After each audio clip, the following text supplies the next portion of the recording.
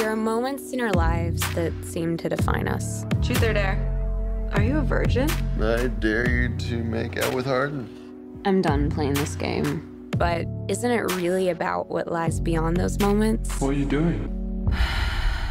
I think you owe me a debt. Something about you. So, what's his story? Be careful. Hardin is complicated. Something about you.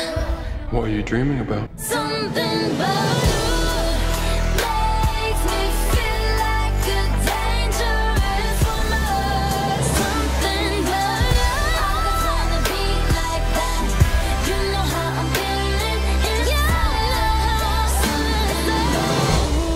before him was so simple, and now there's just after.